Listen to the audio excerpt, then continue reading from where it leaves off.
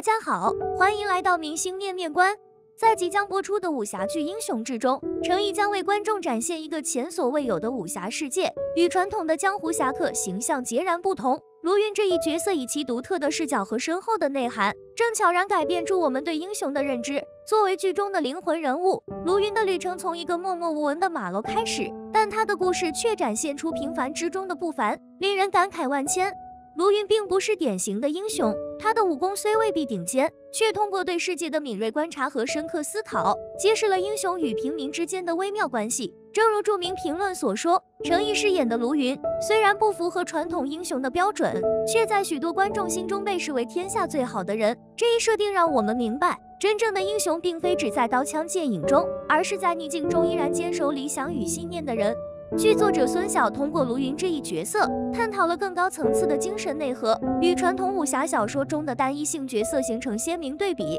在金庸的作品中，英雄们常因道义而援助他人，而孙晓的卢云则更加注重内心的善良与对理想的执着。尽管他的武功并非最强，但他对社会不公的关注与对人民的责任感，使他在这个江湖中显得格外闪耀。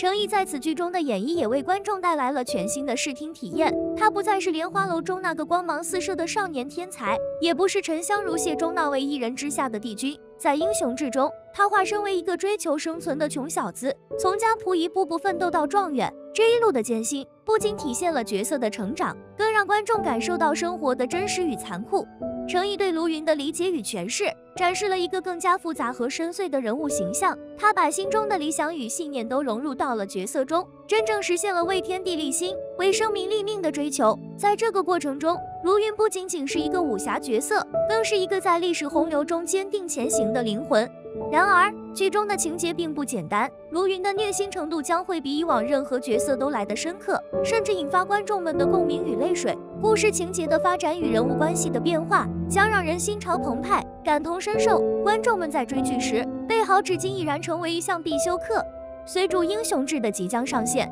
程毅的表现引发了广泛期待。无论是对角色的深度解析，还是对传统武侠的再思考，这部剧无疑将成为二零二四年最受关注的作品之一。观众们将迎来一场关于勇气、理想与爱的武侠盛宴。而程毅在这一过程中的蜕变与成长，也将激励更多的人重新思考英雄的真正意义。无论你是程毅的忠实粉丝，还是热爱武侠的观众，都不容错过这一部充满深度与感动的作品。今天的视频就到这里了，喜欢的点赞、留言、加关注，我们下期再见。